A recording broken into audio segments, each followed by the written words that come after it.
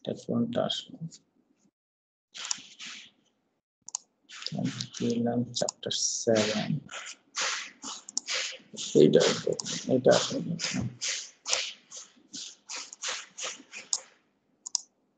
এটা আচ্ছা চ্যাপ্টার সেভেনটা কি দেখা যাচ্ছে?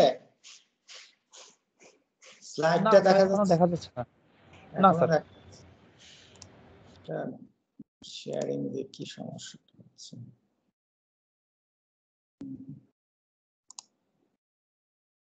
আচ্ছা স্টপ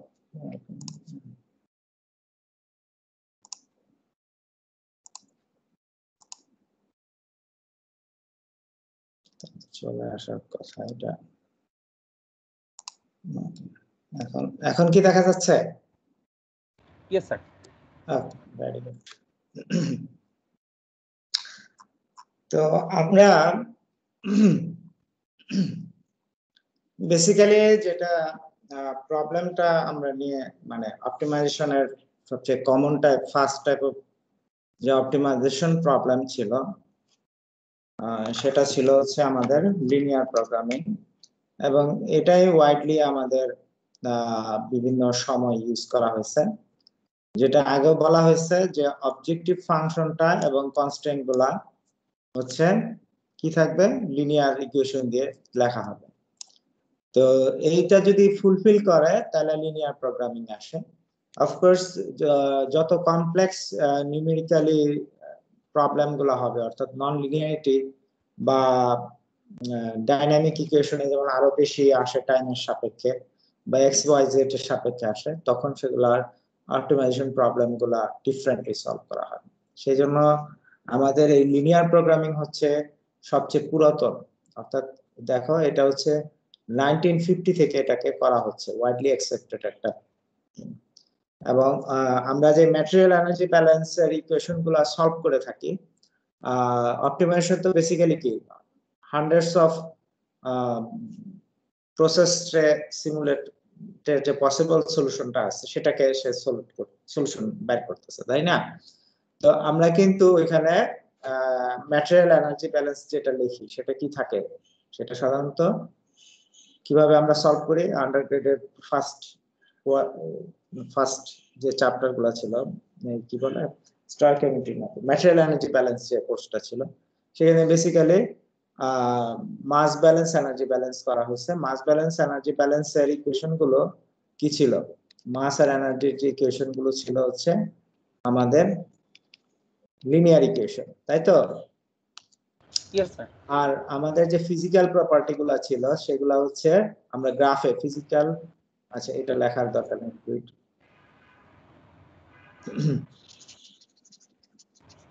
আমাদের যে সেগুলা ছিল হচ্ছে নন লিনিয়ার ইকুয়েশন কিন্তু আমরা সেগুলা গ্রাফের মাধ্যমে একে বের করা হয়েছে তাই তো? এরকম একটা গ্রাফ বা কোনো একটা লাইন ছিল যেখান থেকে এক্স ওয়াই দেওয়া ছিল সেখান থেকে আমরা প্রিডিক্ট করে সেই ভ্যালুটা এই মাস এনার্জি ব্যালেন্সে যেমন হচ্ছে এনথালপি এনথালপির ইকুয়েশন বা স্পেসিফিক গ্র্যাভিটি ইত্যাদি যে ইকুয়েশনগুলো বা আমরা এটাকে কি বলব?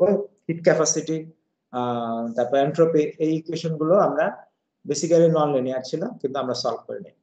সো আমরা অনেক ক্ষেত্রে সেটা সলভ করতে পারি একত্রে, এখন এই যেহেতু অ্যাডভান্স কম্পিউটিং আসছে কিন্তু যেহেতু প্রথম দিকে নাইনটিন ফিফটিতে নাইনটিন যদি তুমি, আমি জাস্ট একটা এক্সাম্পল দিচ্ছি। আমি আমরা যখন স্টুডেন্ট অর্থাৎ মানে আমি যখন বুয়েটে ভর্তি হই, তখন একটা পিসি বা যদি কেউ কিনতো, তাহলে সেখানে এয়ার কন্ডিশন রুম থাকতো। ঠিক আছে? কাজে পিসিটা নষ্ট না হয়। আসলে এয়ার কন্ডিশন রুম থাকলে কিন্তু পিসি ভালো থাকবে ঠান্ডাতে। এখনও সেই কথা সত্য। কিন্তু এখন তো পিসির দাম এয়ার কন্ডিশনের চেয়ে কমে গেছে। তো আমরা আর এটা নিয়ে চিন্তা করি না। পিসি নষ্ট হলেও সমস্যা নাই এবং পিসি পাওয়ারফুল এবং পিসির আগে আমি যখন কিনছিলাম মানে স্টুডেন্ট অবস্থায় আমি কেনা হয়েছে সিক্সটি সিক্স থাউজেন্ড ঠিক আছে? সিক্সটি সিক্স মেগা এটা যে স্পিডটা দেখা যাচ্ছে সিক্সটি সিক্স থাউজেন্ড টাকা দিয়ে এটা কিনা হয়েছে sixty six mega হার্টসের sorry one sixty six mega অর্থাৎ এটা আমি যেটা বলতেছি না আমি সাতানব্বই আটানব্বই দিকের কথা বলতেছি। বুয়েটে কেমিক্যাল ইঞ্জিনিয়ারিং পড়তেছি তখন লাগে। তো কিনা হয়েছে? সো এটা হলো দাম ছিল। আর এখনের পিসি গুলা কি গিগা হার্টসে না কততে থাকে? অনেক হাই স্পিড থাকে। গিগা হার্টসে থাকতেছে। সো এই বোঝা যাচ্ছে যে আর র্যাম তো আমাদের বলার কোনো অপেক্ষাই রাখে না, কত ছোট র্যাম সো আমাদের সেই কারণে লিনিয়ার বেস ইকুয়েশন যেগুলা সলভ করা হতো আর কি। ফরটানের লেখক বা যেভাবে হোক সেই জন্য এটা কিন্তু উনিশশো পঞ্চাশ সাল থেকে সে জনপ্রিয়তা লাভ করে এই এটা সলিউশন করার জন্য। আমরা যদি দেখি যে, আরেকটা জিনিস জাস্ট এক্সাম্পলের জন্য বলছি যে আমরা একটা ব্ল্যাক বক্স মডেলিং বলছি, যেটা হচ্ছে নিউরাল নেটওয়ার্ক বেস বা ফাজি লজিক বেস মেথড ওটা basically computer engineer more use to with that বা অন্য অন্য ইঞ্জিনিয়ার ইউজ টু কারণ সলিউশনের জন্য কম্পিউটার এটা সলিউশন দিচ্ছে। তো ওই যে জিনিসটা ওটা কিন্তু আমাদের আশির দশকের আগে আসে নাই। ওটার যে ম্যাথমেটিক্স আন্ডারলাইনিং ম্যাথমেটিক্স যেটা কাজ করে আর কি। কারণ হচ্ছে যে সেটা সলভ করার মতো অবস্থা ছিল না। তখন যারা আবিষ্কার করছে তাদেরকে মানুষ মানে এটা কোনো কাজের জিনিস নেই কি ম্যাথমেটিক্স নিয়ে আসছে? কিন্তু এখন কিন্তু এই আর্টিফিশিয়াল ইন্টেলিজেন্স নিয়ে অনেক বেশি কাজ করতেছে। সো যেটা এক একটা সময় সাপেক্ষ এটা হলো জাস্ট এক্সাম্পল যে আমাদের এটা উনিশশো পঞ্চাশ সালের দিকে এই মেথডটা মানে চলে আসে, জনপ্রিয়তা লাভ করে। তাহলে আমাদের যে লিনিয়ার কনস্ট্যান্টগুলার কথা লিনিয়ার কনস্ট্যান্টগুলা আমরা তো অলরেডি জানি যে